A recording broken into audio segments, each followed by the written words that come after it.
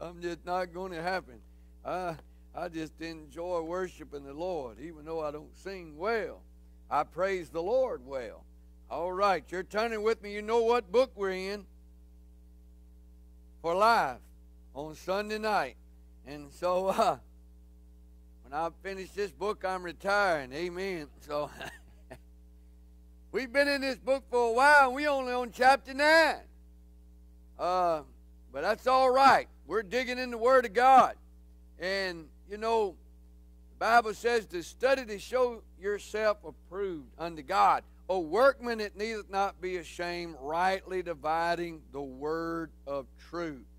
So here we are, Proverbs chapter 9. Last week, we talked about wisdom, right? We talked about how wisdom created uh, the world, and at the end of it, we concluded that wisdom is Jesus, right? We also concluded last week the fool feeds on good. Y'all come out the gate then, didn't you? Amen. The fool feeds on trash. Now, if you notice something, wisdom calls out in chapter 8, and then we come to chapter 9, and it's very interesting how chapter 9 begins. Solomon being the wisest man that ever lived that we know of because God imparted to him wisdom.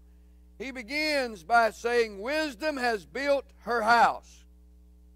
She has carved its seven columns. She has prepared a great banquet, mixed the wine, and set the table. She has sent her servant to invite everyone to come. She calls out from the heights overlooking the city. Come in with me, she urges the simple. To those who like good judgment, she says, Come, eat my food, drink the wine I have mixed. Leave your simple ways behind. Begin to live. Learn to use good judgment. Father, we ask you tonight, long day, been a hot day. We ask you tonight to quicken our minds tonight. We ask you to give us wisdom. That's what we're here for. That's the reason we're studying the book of Proverbs. So we can be wiser. So we can make better choices in life. We've all made choices we regretted. I've made a bunch of them. As I begin to read and study the book of Proverbs, you've helped me to make better choices. Lord, would you bless our time together tonight? Refresh us. Help us to put our thinking caps on and anoint us so we can see things we normally wouldn't see, hear things we normally wouldn't be able to hear. In Jesus' name, amen. Interesting. Wisdom has built her house. Wisdom has built her house. Now, we're looking back at chapter 8, right? So we think about it. We're taking all this into context, right? We don't want to just be one of those who grabs a verse over here or a verse over there. We're pulling this all into context.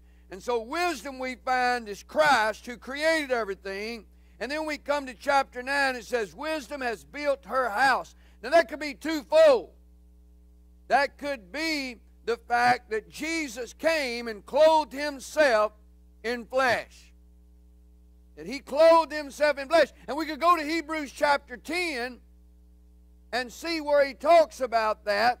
And we see the Trinitarian language in between Jesus and the Father. And he says, I have come and I have taken on a body like you ask. So it could be that, and it could be the church phrase her is used here. So wisdom has built her house. And so wisdom builds the house of God. So either way, you're talking about the Word of God who became flesh, the Word of God who is the head of the church, right? And so wisdom has built her house and has carved its seven columns. Now think about seven is the complete number. Seven is the number of perfection. What does that mean? Let's translate that together. Jesus is the head of the church. He's built a church.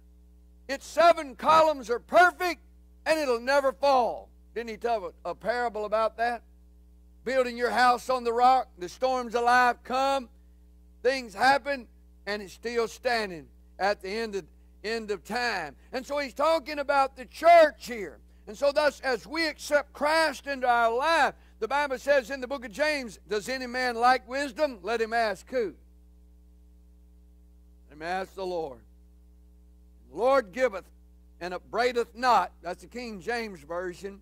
I'm sorry, I read the King James so much, that's the only thing I can ever quote. But uh, it just simply means that he doesn't hold back at all. When you desire wisdom, he will give you wisdom. So wisdom has built her house. Christ has built the church. And it's built in such a way that Jesus himself said the gates of hell will never be able to destroy. You know, we're a part of something, folks, that's never going to be destroyed. We're a part of something that Christ started that's going to stand the test of time. It's called the church. We're open all around the world with all kind of different locations. And the church is a neat thing. I often hear people say, well, the church is not perfect. And uh, that's bad theology. Because who's the head? Mm-hmm. Better think about what you're saying. Amen. You better think about what you're saying. Now, the people invite, he's invited to come in, we need a little work. But the church itself that he built on the seven pillars is perfect in every way. Now notice she has prepared a great, great banquet. Let's fast forward. Don't y'all love connecting the Old Testament with the New Testament? I do. I just get fired up when I when I find a, a connection there. How many y'all remember Jesus telling a parable about a great feast? And he sent his servants out to invite everybody to come. Y'all remember that? And man, did they have some lame excuses. I married a wife. I can't come. You better bring her on, will you? Amen. Huh? Come on now. I bought some land. Uh, and I need to go look at it. Really? Boy, you can tell who you're dealing with right there. Other guy said, I bought some oxen. I got to go prove them. Translate that. I got to go see if they can plow. Who does that? And all these excuses came in. But the key thing is the church is built today, and Christ has prepared a great banquet for you and I. He's mixed the wine. That's the new wine that Peter talked about. Fast forward again to the day of Pentecost. They thought they was drunk, but Peter said, No, we we dealing with the new wine. Amen. And he set the table. He set the table. Now, you go back into the Old Testament, you think about the, the tabernacle. You remember the table was set. What was on the table? The bread. The bread represents what? The Word of God. The lampstand was in there too as well by the table. What does that represent? The light of God. God set the table for us. What did David say in Psalm 23? Man, we're making a lot of connections tonight, aren't we? Thou settest a table. What do you remember that? Psalm 23. Thou settest a table for me, for my enemies, but my cup's running over. They wrote an old song years ago entitled, I don't know how many y'all, I just had a flashback to a long time ago. Y'all ever heard that old song, Drinking from My Saucer? Because my cup's run over. Amen. I, I went way back there now. Somebody said, Come on, Pastor. All right, now, I just had a flashback. He says, But now watch this. She has sent her servants. That's talking about the church. We go all the way through Acts and we see people being sent. Paul and, and Silas being sent. Paul and Barnabas being sent. We see Timothy being sent. So she has sent her servants to invite everyone to come. That's exactly what happened in that parable, wasn't it? The people made excuses. How many people are making excuses? And not talking about coming to a church service. It's talking about coming to church. It's talking about coming where we can see and hear the power of God. David said in Psalm 63, Oh God, that I might see your glory as I have seen it in the sanctuary. Powerful services, folks. God at work in our midst. The eternal God has built something that we've been invited to come into. That's exciting to me. She has sent her servants to invite who? Predestination? No. Who? Everyone. How, you know what everyone means in the Hebrew? Everyone. Amen. Means that in Greek. It means that in English, any language. I don't know any. I don't know a lot of language, but I would imagine any language in the world, everyone means everyone. It doesn't exclude anybody, and so everybody can come. Don't ever feel like you can't come. Don't ever feel like you're you're not worthy. You were worthy enough for Jesus to die on the cross for your sin. And so he calls to us. She calls out in the heights overlooking the city, Come in with me. See, the Holy Ghost is always calling us and moving us to come into the Trinitarian life of God. She urges the simple. We're going to talk about that word simple. I used to hear my grandma say, that, boy there is simple. She didn't tell me I was simple every once in a while. I just thought she meant I was country for a long time, like a redneck or something like that. But you know what that word simple actually means? Someone without understanding. Someone without understanding. I looked up the Hebrew uh, this afternoon when I was making preparation for this. And it means someone without understanding. You say, give me an example. Well, I look back at my life, back when I was not saved, I live like somebody without understanding. Some of the things I, I did, I look back and I say, what was I thinking? And even in the Bible, we find people doing the same things. And so when it says calling to the simple, it's okay to be simple, but it's not okay to stay simple. Did I say that all right?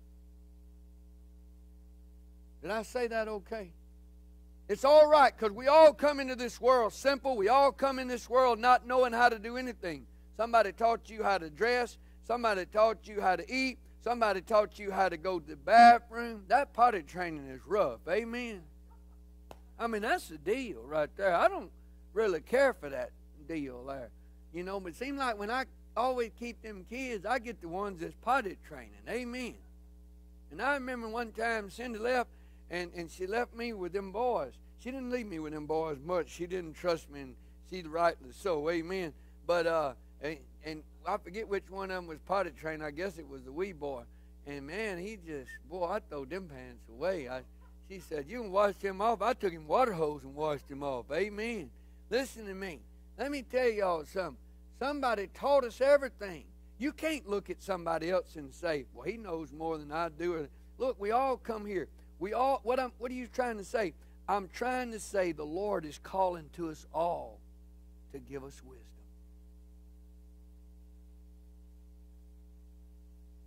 I know the Bible because I've read it. It isn't like all of a sudden God called me to preach and He downloaded all the Scripture into my mind. You have to do the time, folks. God's calling you. And it's all right to be simple, but it's not all right to stay there. Come in with me, she urges, the simple. To those who like good judgment, she says, Come eat my food. What food's it talking about? The Word of God. The Word of God is considered as milk and is considered as meat. Drink the wine. What's the wine? The wine. People get tore up about that parable about Jesus turning the water into wine. Some people try to take that and make it into the fact that Jesus okayed drinking and all kind of stuff like that. Here's the main thing of that parable. That might be a good verse after the verse. The main thing in that parable is Jesus brought in the good first. Remember, he told the parable about the wine skins. You can't put new wine in old wine skins. Aren't y'all glad of that? Aren't you glad the Holy Ghost doesn't come into your life and leave you in your old state? You understand those parables? The new wine is the good wine. In that day and time, wine would sour sometimes. And, and and, and sometimes wouldn't be good. And he says to you and I, I've set the table. And, and Paul, he hinged on that. He said, Don't be drunk with wine, but be filled with the Spirit. Now, some of y'all might not understand what that means, but I've been in both places. Alcohol uh, uh, make you think you can do things you can't do.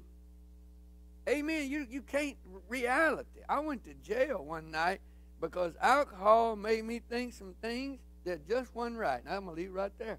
But look here now. The Holy Spirit's the same way. The Holy Spirit influences us as well.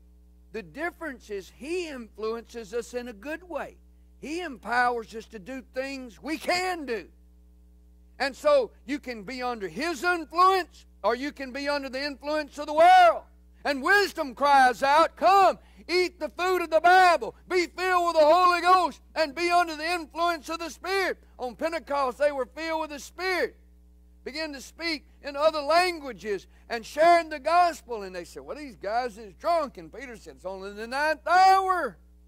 We're under the new wine. We're under the influence of the Holy Ghost.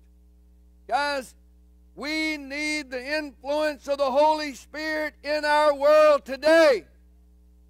That's not a giddy goosebump feeling. I mean, it may bring that, and that's okay. Okay when you're in worship and you get those goosebumps or, or you just you have a good feeling. But the Holy Ghost is more than that. He's more than an emotion. He is a person who literally comes into your lap when you repent of your sins and begins to speak to your heart. And he cries out, Come, eat my food, drink my wine. Then he calls us to repentance in verse 6. Do you see it? Leave your simple ways behind and begin to live.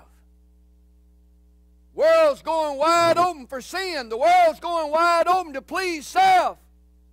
But the Bible says, and calls the simple to repent of their ways and leave them behind. And then you'll what? Begin to live. You'll begin to live. Think about the people in the Bible that began to live when they walked away from their old life. Mary Magdalene, seven demons, was a prostitute. Jesus cast out the devils and, and then he saved her and she began to live. The woman at the well, been married five times, had a messed up life. Jesus waited on her. She got saved. She began to live. And we think life, world thinks life is wound up in money, materialism. Where life is wound up in relationships. But the Bible says you'll leave your old simple ways and begin to follow the Lord, you'll begin to live. Think about Abraham. Abraham left his home and left his family and began to follow the Lord, and he began to live. He began to live. The Bible's full of people. Rahab, another prostitute, who hid the spies when they came to Jericho she got saved and began to live. I'm going to sit down in heaven with them one day and hear the rest of the story. I'm going to say, Rahab, what did God do with you the rest of your life? Mary Magdalene, what did God do with you the rest of your life? Amen. There's a couple of guys in there I'm going to talk to as well. But anyway, um, it's, it's an amazing thing. Leave your simple ways behind and begin to live. Learn to use good judgment. Now, last week, you remember our takeaway verse? The Lord has some things to tell you. You need to listen, right? Verse 32. My children, listen to me. For all who follow me, my ways are joyful. Listen to my instructions and be wise. Don't ignore them. I got something to say to you. What's the takeaway this week? Learn to use good judgment. Look back at your life. Look at back at my life. Sometimes I didn't use good judgment. Sometimes I didn't use good judgment. It wasn't God's fault because He was trying to tell me to do something else. And I was just bullheaded enough to go ahead and do what I wanted to do. Y'all ever been there? Amen. Kind of like the guy on America's Funniest Video. And you're sitting there on your couch saying, he don't need to do that. that's not going to turn out good. And you say, why are you using that illustration? Because I think the Lord sits on his throne and says, he don't need to do that. That's not going to turn out good. But repentance is very important, folks. You always remember something. God cannot deliver you anything you won't repent of. Repentance means I'm letting go of this. Repentance means, Jesus, I really do want to change.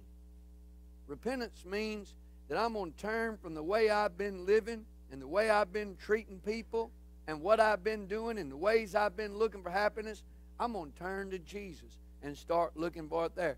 Leave your simple ways behind and begin to live. I love that. Learn to use good judgment. Now, check out verse 7. Anyone who rebukes a mocker will get an insult in return. Anyone who corrects the wicked will get hurt. You need to listen to that. You say, well, wait a minute. We're not to get out there and witness? That's not what it's talking about. You say, wait a minute.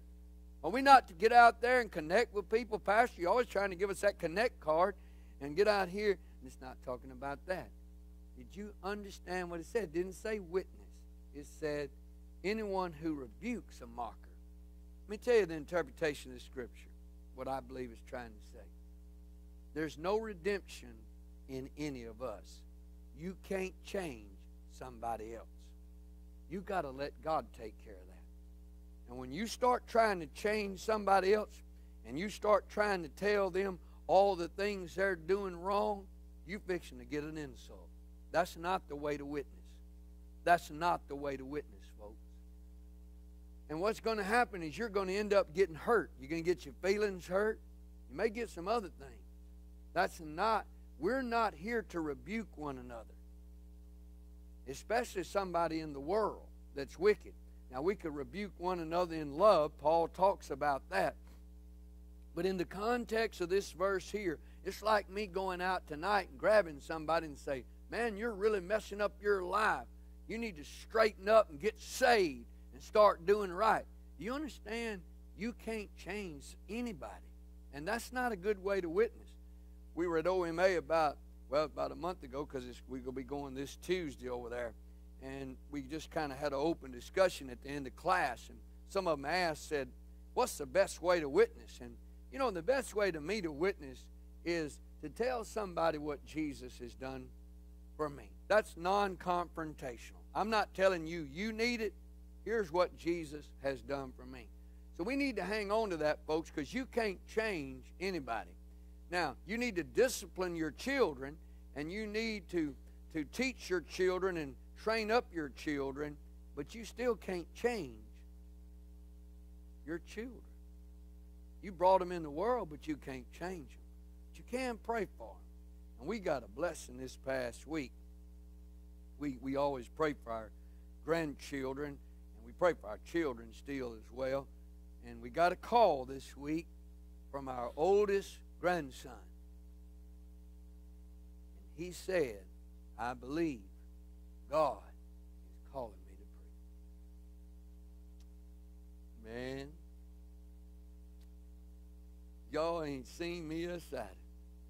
I'm sure he had the phone out here. They know how Papa is. That he told me that because I was excited.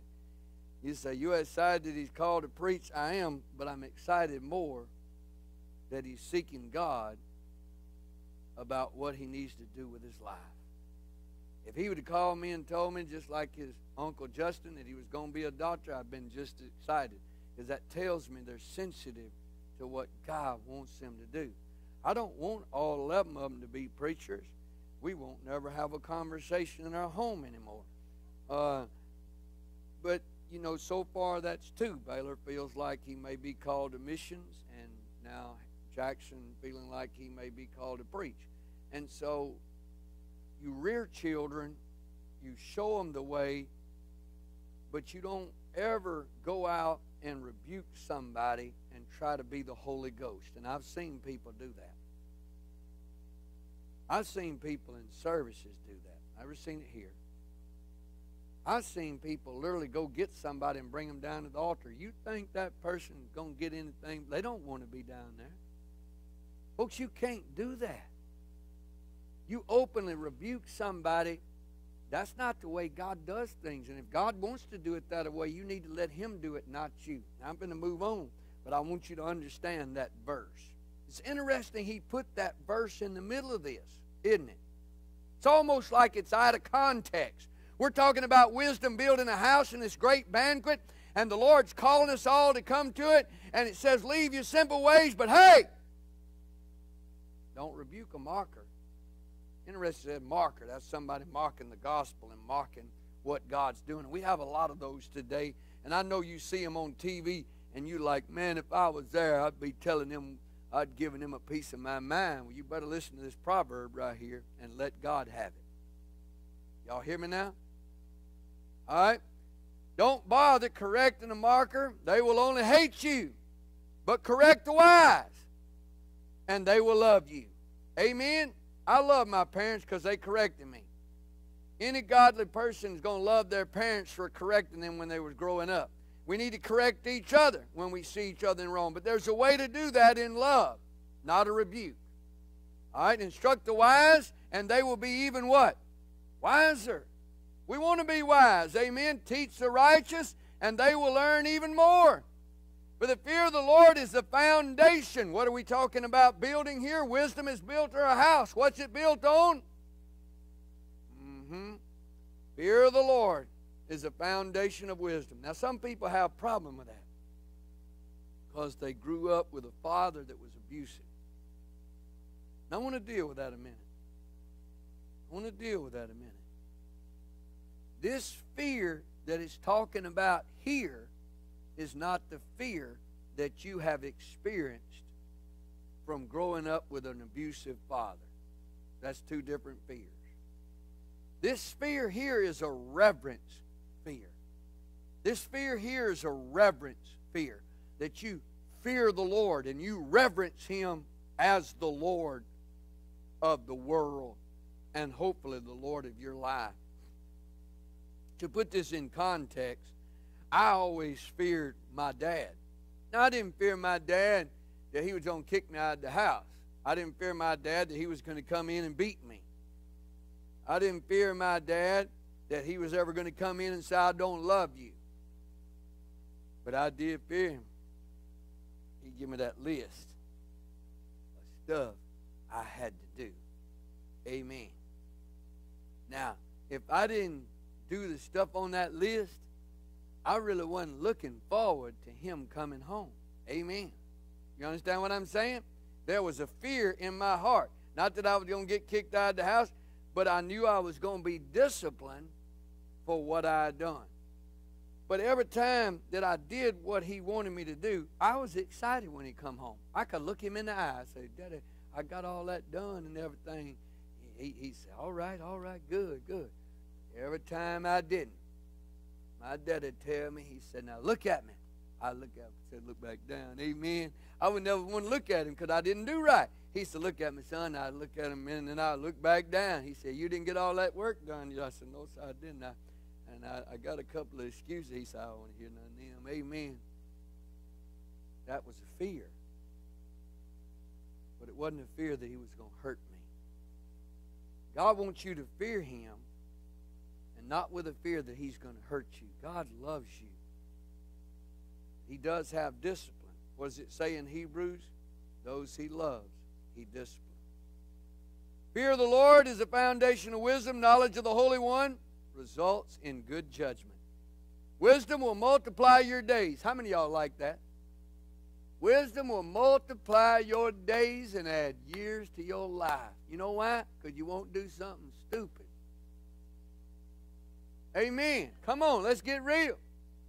My uncle drank himself to death. I remember when we went to the funeral with a little kid.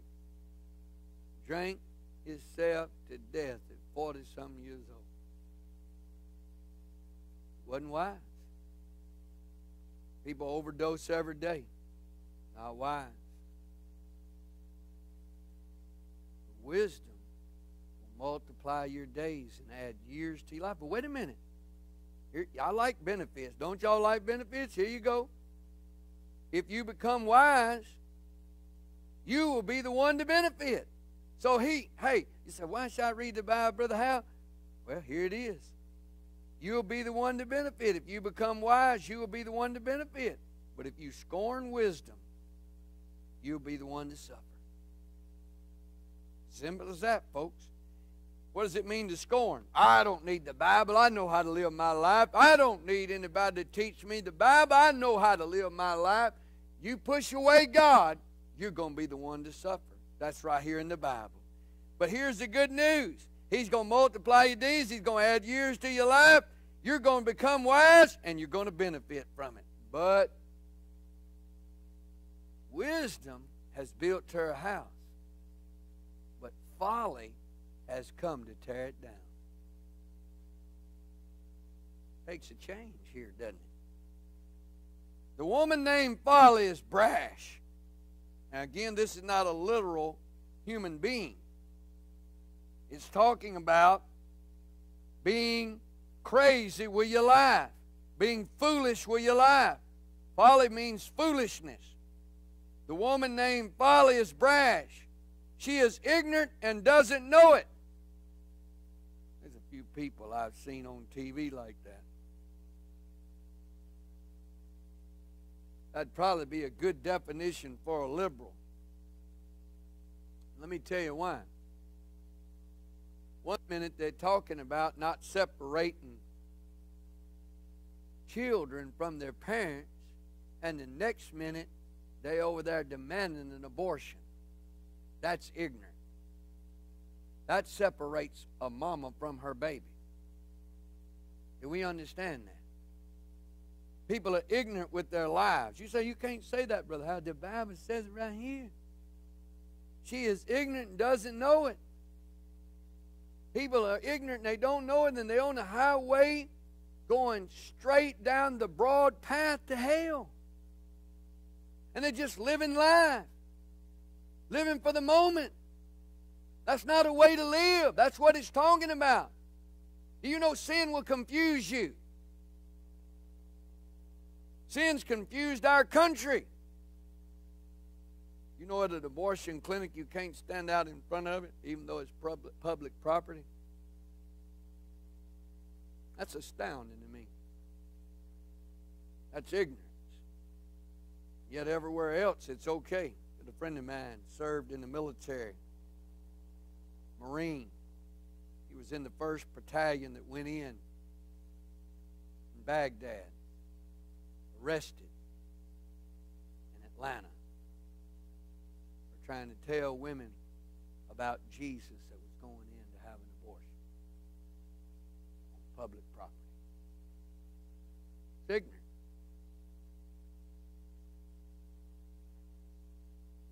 We've done ignorant things because we've not looked to God for wisdom. We've done ignorant things in this country because we've not looked to God for wisdom. I'll tell you how many babies we've slaughtered in the name of a choice. Whose choice? Certainly wasn't the child. We may have killed somebody that God had given the plan and the cure for AIDS, cancer. No, we slaughtered a lot of preachers and missionaries. She sits in her doorway on the heights overlooking the city. She calls out to the men going by who are minding their own business. You know, that's sin, folks. You ever been just out minding your own business, having a good day, and all of a sudden temptation comes in like a flood? The same call comes. Do you notice that in verse 16? Let's make a Bible connection here. Look back at verse 4. Jesus says, Come in with me and sin and folly says in verse 16, Come in with me. Who you going to be a guest with? Remember, in the first part of the chapter, the call went out to the guest to be a guest and an invite to the house of God. But now here comes the call to go with folly. Here comes the call to go into sin. Come in with me, she urges the simple The simple are called both times, remember? Early in the chapter, late in the chapter. To those who like good judgment, she says, stolen water is refreshing. Food eaten in secret tastes the best. The devil always tries to make sin look good. You got to hide something.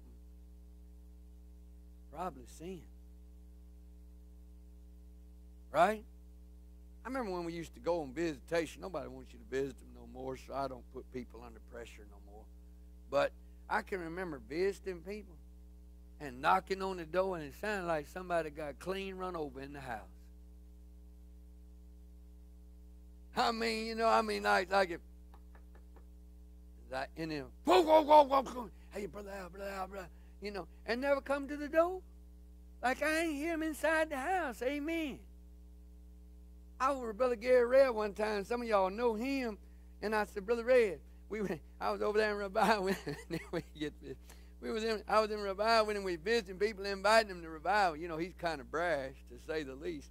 But anyway, I said, Brother Red, that door is about to fall off. It's a screen door, and I could tell it about to fall off. I said, please don't knock on it so hard.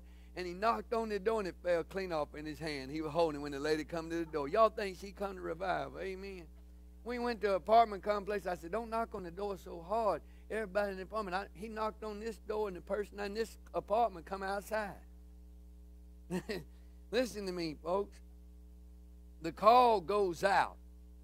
The call goes out. Are you going to come with Jesus? Or are you going to go with sin?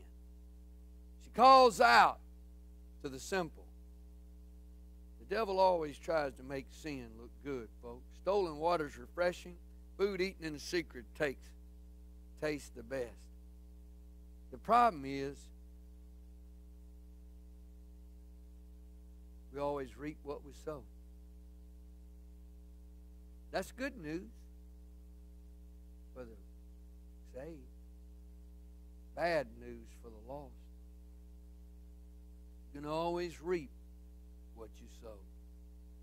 Go after that stolen food. You let the devil convince you, well, that's all right.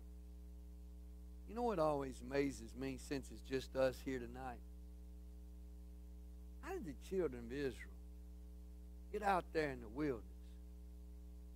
Some of them still had scars on their back where they had been beaten by the taskmasters as slaves, building stuff Pharaoh. How do they get delivered and get out there in the desert and somebody comes up with a bright idea? Man, I remember the onions we used to eat. I think we need to go back to Egypt. Really? Really? I mean, that's ignorant and you don't know it, right? That's what they said. You know why they said that? The devil is able, even when you get delivered out of something, to somehow make it look good again to you and you know it ripped you off. You know it cost you. Sin says stolen water is refreshing food eaten in secret tastes the best. Look at verse 18 as we close out tonight. But little do they know that the dead are there. Her guest, remember we're talking about guests, who you're a guest with? Her guests are in the depths of the grave. Woo! Uh, that's a pretty interesting way to end that chapter out. What's our assumption from this chapter tonight, class? I feel like we have class on Sunday night. I don't ever really feel like I ever preach. I feel like we have class. But what's what's our conclusion from this? Well, Jesus has built the house. It's called the church. He set the table for you to come and dine. The devil and all his folly is calling to you to come to his house. Trying to make it all look good. But the dead are there. What did it say in the verse up there? Leave your simple ways and what? Live. I want to live. And I'm not talking about exist. Y'all know there's a difference in living and existing. I don't want to just exist. I'm telling you, I want to live. Amen. And you know, even though life is hard sometimes, it's still living when you're with Jesus. Because his house is made of seven pillars, and the gates of hell will not prevail against it. I'm glad I'm on a winning. I'm glad that I serve a God that can. I'm glad tonight that my life is on the foundation of Jesus. And I'm not as smart as I need to be, but I sure ain't as dumb as I used to be. Are y'all all right? I may not be the sharpest knife in the drawer, but I ain't the dullest. Amen. I'm just going to let God just keep giving me wisdom. But let me tell you how it's going to come as we conclude tonight. Wisdom don't come from praying. You, you can ask God for wisdom, but you know what He's going to tell you? Pick this book up. Wisdom calls out to you tonight. That's our go to verse. Remember our go to verse? I got something to tell you. I think some of y'all thought about that when you got up this past week. I got something to tell you. I thought about it. I get up every morning for the Lord to tell me something. And I'm not talking about over here just listening. I'm talking about getting in the Word and letting God speak to me. I want to challenge you tonight to start reading a proverb every day. It's easy to keep up with where you're at. Just look at the date. A good day to start is the first. Read a proverb every day. I'll guarantee you get smarter. I got that from my father in law. One of the smartest men I know. The curse of the body through dementia now has changed him. But it's not took that away from. Hardly communicates with anybody anymore. The other day, I was sitting beside him in the living room. Really hadn't said anything. I was reading a book, Bearing the World by Dr. Kinlaw. I looked at him and I said, Jesus is amazing, isn't he? He said, Yes, he is. I said, The Lord loves us more than we can imagine, doesn't he?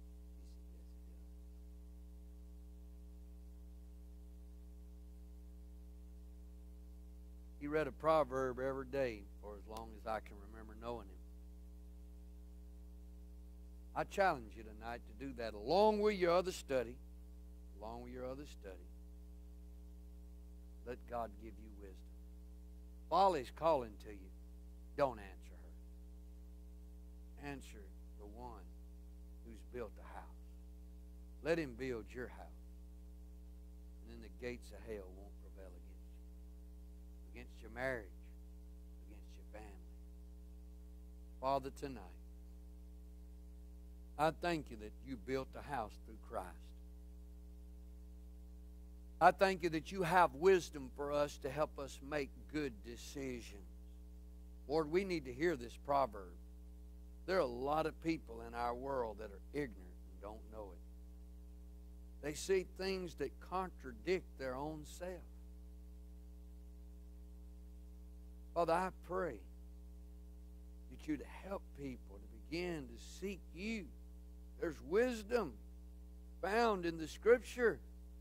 We're not going to understand everything we ever read, but we can understand more and more and get a greater revelation of who you are. That's what I want, Lord. I want a greater revelation I pray for everybody under the sound of my voice that this next week that they would get in your word. They read a proverb every day and then study somewhere else in your word. God, give us wisdom. Help us not to answer the call of folly. Help us to reach a lost and dying world that's ignorant. I don't mean that in a bad way. They're just ignorant. Headed to hell lost and undone. Help us bear the world to you. In Jesus' name, amen. God bless you. I'm glad you were here tonight.